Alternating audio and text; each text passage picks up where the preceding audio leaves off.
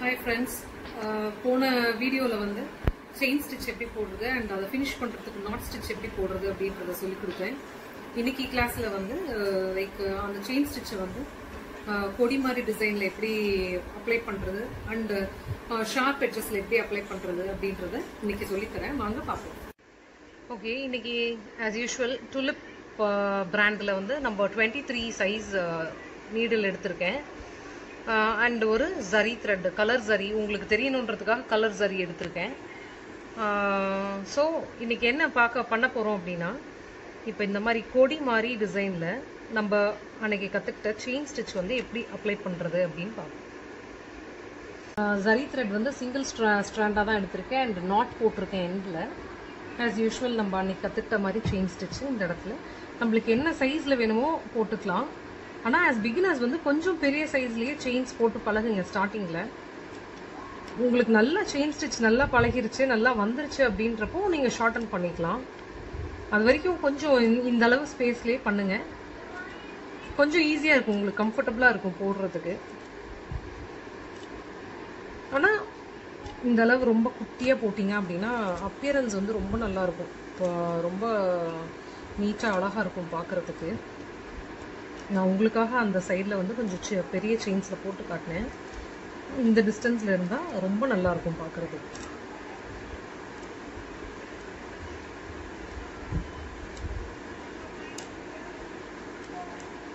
So அந்த டேர்ன்ஸில் வந்து கரெக்டாக நம்ம ட்ராயிங்க்கு ஏற்ற மாதிரி அப்படியே ட்ராவல் பண்ண வேண்டியது தான் இது வந்து ரொம்ப நம்மளுக்கு வந்து டஃப்பான ஒரு டிசைன் கிடையாது.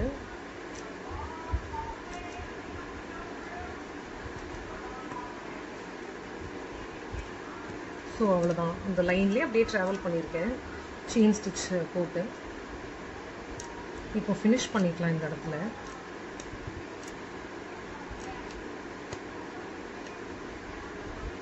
ஆஸ் யூஷுவல் அன்றைக்கி நாட் சொல்லி கொடுத்த மாதிரி ரெண்டு ஸ்ட்ரிங் எடுத்து செகண்ட் ஒன்னை ஃபஸ்ட் ஒன்னில் டேர்ன் பண்ணி ஃபஸ்ட்டு லூப்பை ஹோல்ட் பண்ணிக்கிட்டு செகண்ட் ஒன்னை டைட்டன் பண்ணிவிடும் தட்ஸ் இட் ஓகே நம்ம இப்போ இந்த இந்த டிசைனில் எப்படி போடுறதுன்னு பார்த்துட்டோம். அடுத்து வந்து ஷார்ப் எட்ஜஸில் எப்படி அப்ளை பண்ணுறதுன்னு பார்ப்போம். இந்த மாதிரி ஷார்ப் எட்ஜஸ்பால் எப்படி அப்ளை பண்ணுறதுன்னு பார்ப்போம் இப்போ. இது கொஞ்சம் வந்து நுணுக்கமாக கவனிக்க வேண்டிய விஷயம். என்ன அப்படின்னா இந்த டேர்ன்ஸில் வந்து நம்ம ஸ்டிச்சை வந்து எப்படி அப்ளை பண்ணுறோமோ அதுக்கேற்ற மாதிரி தான் இந்த ஷார்ப் எட்ஜ் வந்து நம்மளுக்கு இதாகும். ஸோ ஆஸ் யூஷுவல் சிங்கிள் ஸ்ட்ரிங்கில் ஜரி த்ரெட் யூஸ் பண்ணி ஸ்டார்ட் பண்ணுறேன் இதில் வந்து குட்டி குட்டி செயின்ஸாகவே போட்டுக்கோங்க.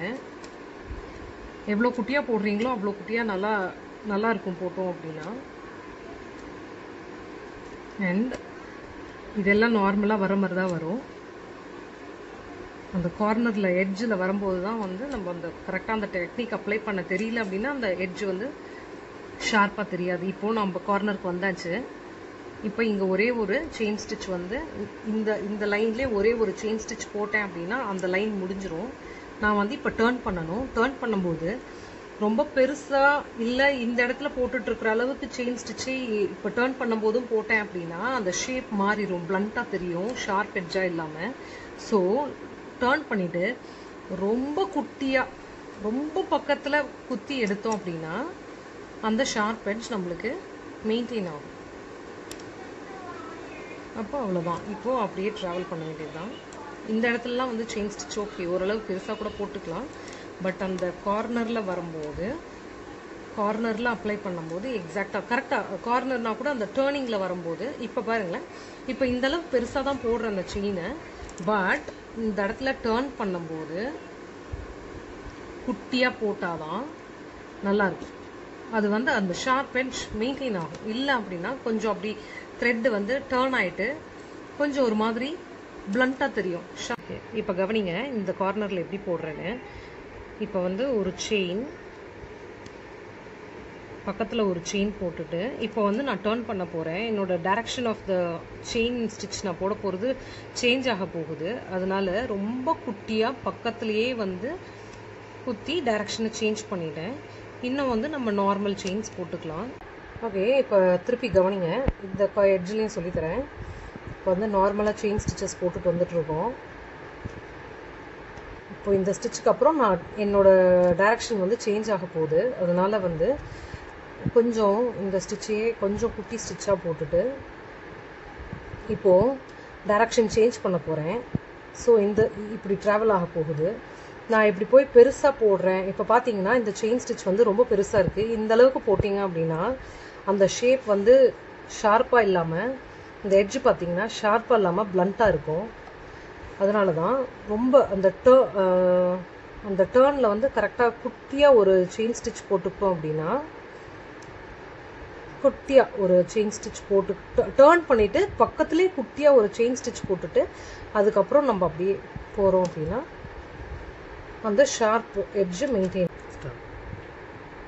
இப்போ கவனிங்க இப்போ இந்த கார்னரில் இப்போ வந்து இதை விட இது இதுக்கு அடுத்து வந்து நான் டைரக்ஷன் சேஞ்ச் பண்ணணும்.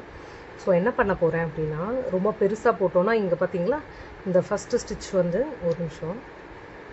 இந்த ஃபஸ்ட்டு ஸ்டிச் வந்து இப்படி பிரிஞ்சுட்டு டேர்ன் ஆகிட்டு வரும்.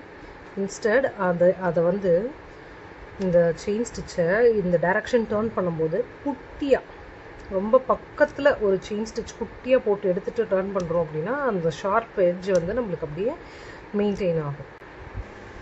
இப்போ வந்து இது ரெண்டும் முடிச்சிருக்கோம். இது வந்து நார்மலாக எப்பயும் பண்ணுற மாதிரி பேட்டர்ன் தான்.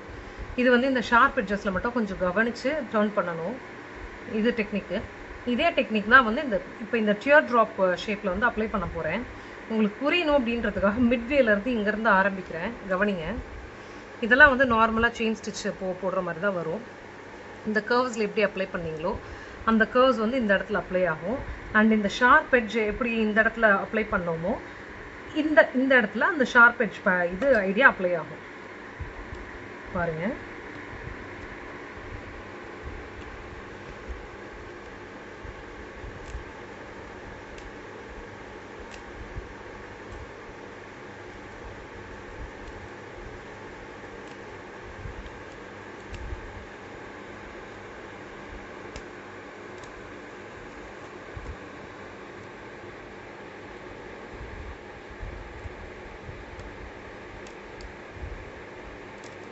இப்போ கவனிங்க ஷார்ப் எட்ஜ் அந்த கார்னருக்கு போகிறதுனால இந்த இடத்துல ஒரு குட்டியாக ஒரு செயின் ஸ்டிச் இப்போ டைரக்ஷன் டேர்ன் பண்ணி அந்த இடத்துலையும் குட்டியாக ஒரு செயின் ஸ்டிச் ஸோ ரெண்டு குட்டி செயின் ஸ்டிச்சஸ் அந்த கார்னர்ஸில் போட்டு வர்றதுனால அந்த ஷேப் அப்படியே டியர் ட்ராப் ஷேப்பில் மெயின்டைன் ஆகும். இல்லை அப்படின்னா அந்த கார்னர் வந்து வளைஞ்சிட்டு ஒரு மாதிரி உங்களுக்கு பிளண்ட்டாக இன்கம்ப்ளீட்டாக தெரியும். அது டியர் ட்ராப் மாதிரி தெரியாது அந்த ஷேப் உங்களுக்கு. ஸோ ஒரு டியர் ட்ராப்பில் இப்படி தான் ஃபினிஷ் பண்ணணும். ஓகே இன்னைக்கு செஷனில் வந்து செயின் ஸ்டிச்சை வந்து ரெண்டு பேட்டர்ன்ஸ் எப்படி அப்ளை பண்ணுறதுன்றது பார்த்தோம். அண்டு ரெயின் ட்ராப்பில் வந்து அந்த ரெண்டு பேட்டர்னையும் எப்படி அப்ளை பண்ணுறதுன்றதையும் பார்த்தோம்.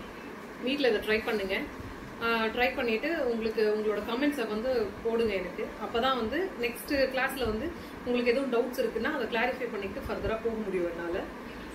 கண்டிப்பாக என்னோட சேனலை வந்து சப்ஸ்கிரைப் பண்ணிக்கோங்க. Thanks for supporting